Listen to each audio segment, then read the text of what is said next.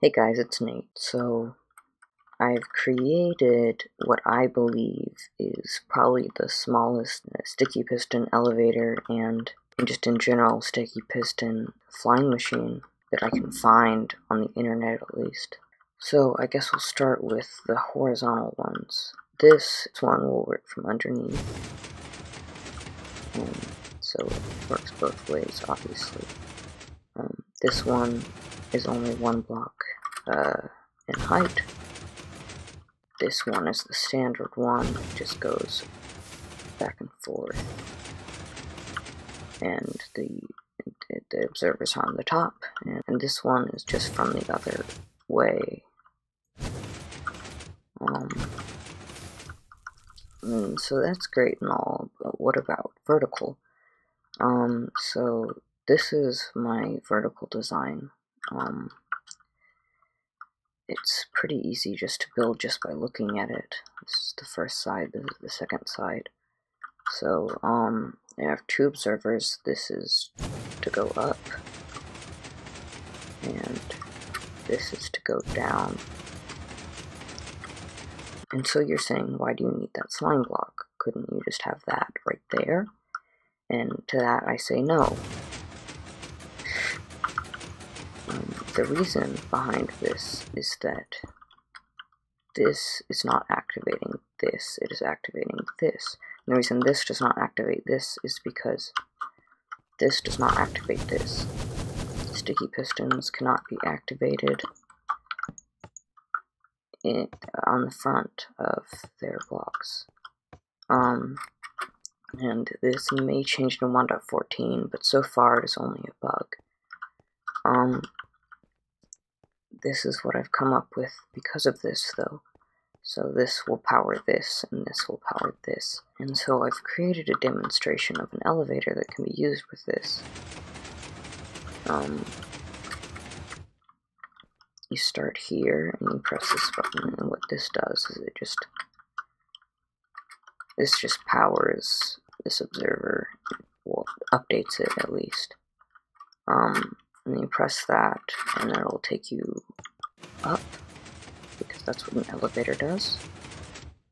And then you can press this one which just powers this um, because I didn't want any redstone to be shown on the sides that you could see which is this at least in this design. And I didn't want a huge amount to be over here, so that'll take you down. And a cool thing about this, which is what this is for, um, uh, you can call the elevator with the button. Um, the same button that you use. So the required obsidian blocks would be here and here but for my redstone, uh, this block is for the blocks that I used for my redstone, but do not need to be obsidian. This is the obsidian for my redstone and the required ones. This one and this one are the only actually required obsidian, but I recommend you use it for redstone so it doesn't break. Um, the glass blocks are the blocks that can that don't have to be uh, obsidian. So this one, this does not have to be obsidian. but the rest does. Like this has to be obsidian though. So I guess I'll show that by putting that there and there. So that's vertical uh, so that's my smallest slime block elevator that I've created ever. I, from what I can tell, it's the smallest on online at least that's popular.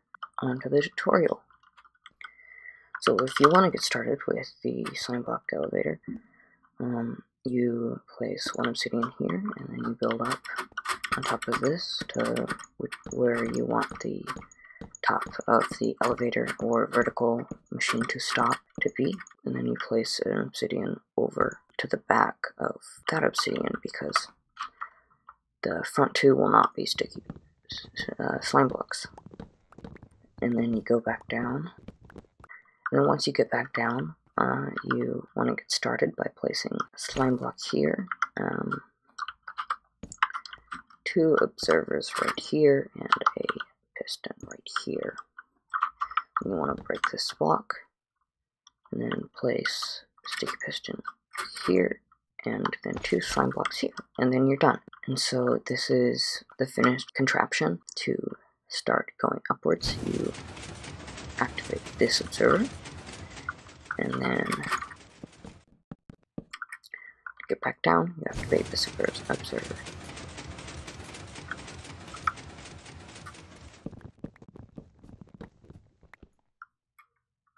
So in order to build the horizontal uh, slime block machine, uh, you want to start by placing where the, end, uh, the ends of both will be.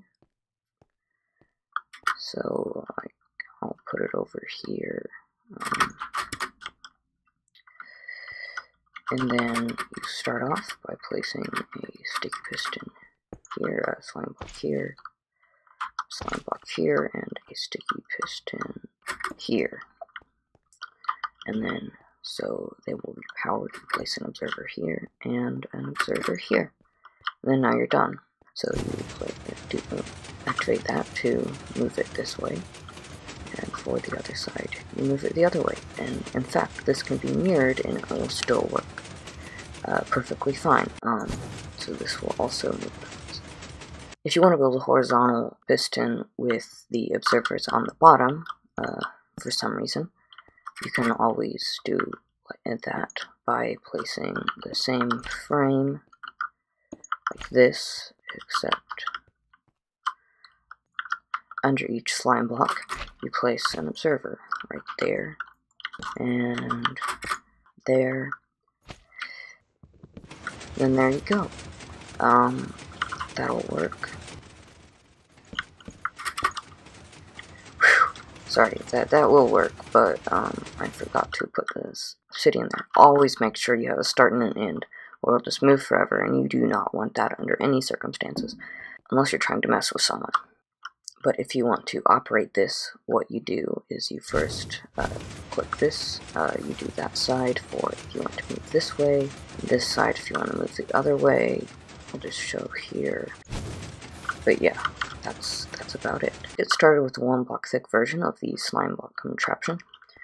You want to start by placing your obsidian like you always do, and then you want to put two slime blocks here, uh, an observer, a piston, two slime blocks here, an observer, and a piston.